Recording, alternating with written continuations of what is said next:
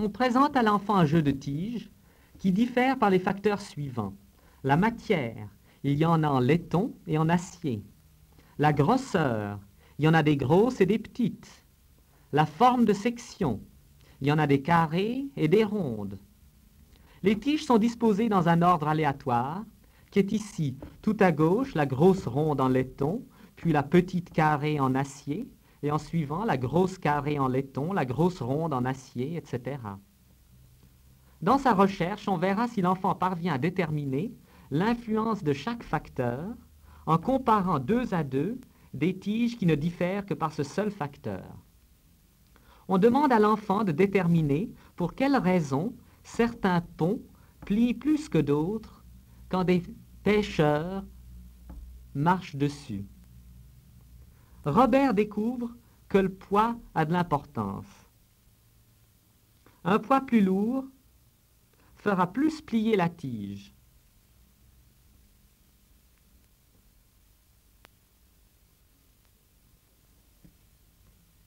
Puis il place le pêcheur sur différentes tiges afin d'estimer leur flexibilité relative.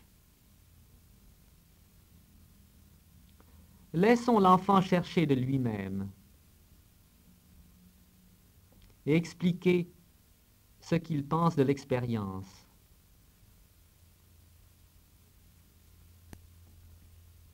Il compare plusieurs tiges sans arriver encore à déterminer l'effet des facteurs.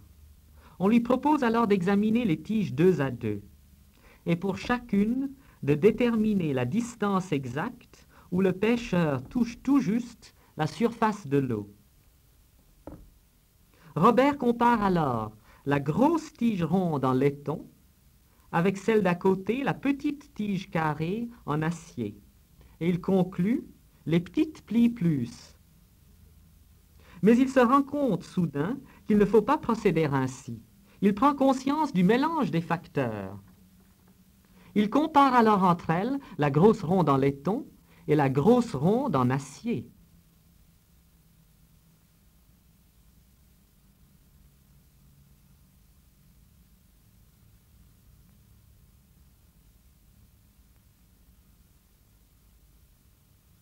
et conclut alors le laiton plie plus.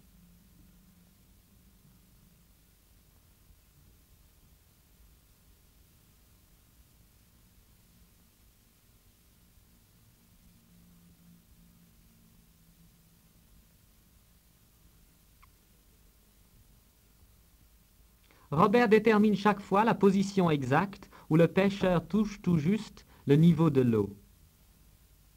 On va le laisser procéder tranquillement.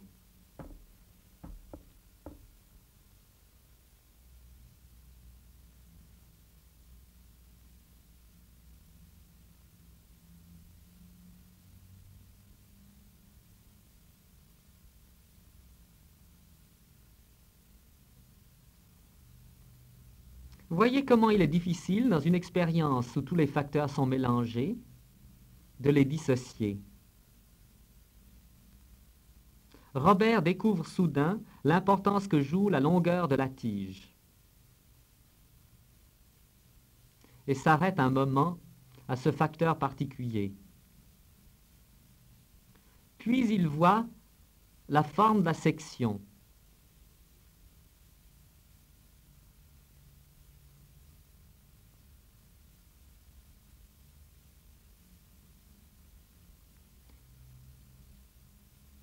Et il montre quelles sont les tiges qu'on doit comparer pour qu'un seul facteur varie à la fois. La forme joue un rôle. Il le démontre avec la grande tige ronde en acier la grande tige carrée en acier. C'est ainsi que pour un facteur déterminé, Robert parvient à fournir une preuve adéquate.